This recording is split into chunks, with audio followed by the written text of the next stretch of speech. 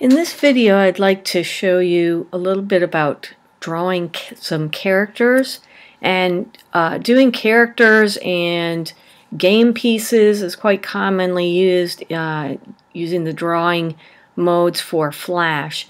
What you're seeing here is um, a copy of or a practice piece from another cartoon artist. Uh, this is not actually my own, but I wanted to show you um, that this is working in layers. When you're working in merge mode drawing, you might want to separate each piece uh, in a layer. And here I want to uh, show you that I've got three layers. One is uh, the nose in layer 2, and if I close the visibility or turn off the visibility, there it disappears.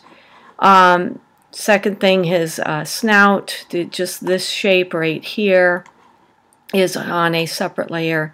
And then finally, everything else is just black, and these have all been kind of merged together. So if I click on this whole figure, since all of these are connected, all of the shapes overlapping, they have merged together into one, except for this uh, little eyebrow right here. Okay, so we can do an awful lot uh, with shapes, with regards to shapes. Um, I could take, let's say, for instance, uh, the oval tool, and I'm just going to use a fill color and um, no stroke color, and in the color picker, choose no, uh, no color, okay. Um, utilizing a, let's say I want that um, eyebrow right here, and so I've got well, I've been in merge or uh, object mode. I wanted in merge mode. So I'm going to turn that button for object drawing off. Okay, and then I want to change the color here. It doesn't even matter what color it is. I'll do white just for demonstration's sake. And I'm going to um, go ahead and make a shape and click on it. Yeah, I, I know I can't see it until I click on it. Uh, go and to get to the free transform tool and put it over this and you can see I'm blocking out uh, some of the area and that is going to cut right into uh, my shape for a nice eyebrow. Okay, then I'm going to let go and I still have my shape, okay, but if I pull it away then I've got um, an eyebrow. And then what I can do with that piece is maybe um, transform it using, using the transform tool. I could um, rotate that.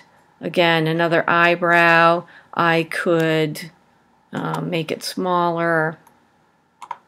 I could use it for um, a bounce effect. Okay, different things. All right, eyeball, maybe um, we work with some layers. The goofier or the more distorted, these types of things, really um, actually the better. Yeah, I've got a shape that's in white, so I want black. Okay, and make a shape, kind of like this eyeball over here. Now you want to notice that the outlines here, these are not drawn outlines, they're just shapes cut into shapes and it makes this effect where you've got some thick and thin lines and that can also be an enhancement for drawing. Okay, uh, some characters. You don't have to get too complicated. I'm going to draw another um, oval here, get it to transform. Okay, and if I put it perfectly in the middle, then I've got an outline, and that's not the purpose of even doing this. Um, I could do a stroke that's perfectly uniform in nature, but if I put it kind of to, towards the um, top end, so I've got a thick and thin look to it, okay, now, so I have the two shapes, and I'm going to go ahead and go with a black. So these are layered on top of each other. They are actually indeed cutting into each other. Let's see if I can get this um, eyeball going. Uh, no, I want the transform. I want the transform tool because in a way it protects it um, from cutting until I settle on where I would like this to be placed. Okay, and again, I could even distort this edge here. And let's go back to white. And I'll just draw a little uh, thing on top of it. No, don't like that. Got to remember where something that you've drawn that is white. To remember where it is. Oh, there's a middle piece in here, if you notice. Uh, the little middle um, icon that's just the zero in the middle of where you transform, that's the center where you transform things around. And you don't want to move that. You want to go to the side to grab that. Sometimes it's harder to grab something like that. Okay, and there we go. I've got an eyeball that's kind of um, an interesting shape, although I don't like that eggy shape too much. Okay, distortion. Okay, distortion is good when we're doing character design. All right, um, another one that's used uh, was used in uh, merge drawing mo mode.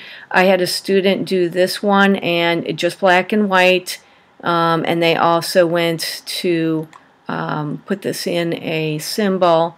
But if I double click and get inside of here, yeah, we can see all of the pieces that they used uh, for the face, and those were all drawn with object drawing mode. Okay, and last but not least, I want to introduce you to Goober. This is uh, a character I developed just out of the necessity to um, show drawing tools. And again, everything here is just drawn with um, ovals. And um, also, he was drawn with uh, object drawing mode. So everything, if I select the whole thing, each piece is inside of a container.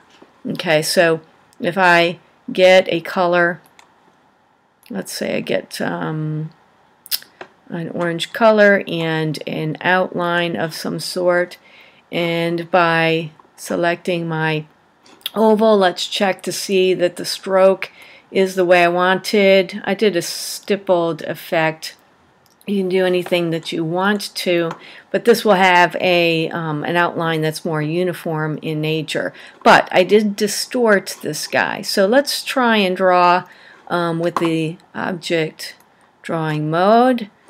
So that means I can draw all on one layer because they're in containers, um, they should be separate from each other. And you see this where I've got a, a bounding box around it. Now, if you want to work with vector lines, you use your sub selection tool to distort and do things, manipulate uh, things with that. Um, well, let's see, we could make kind of a head with ears automatically, just like that. Okay, we'll make some, you know, fun stuff here. Uh, let's see. Fill it with, I'm going to fill it with a darker one and duplicate it. Duplication of a symbol or a, um, a piece that we've drawn. Hold down either your Alt key and click and drag or on a Macintosh, hold down the Option key to click and drag and it will duplicate it automatically. Okay, so this little guy here, uh, let's transform that. And I want his eye to be a little bit um, weird here.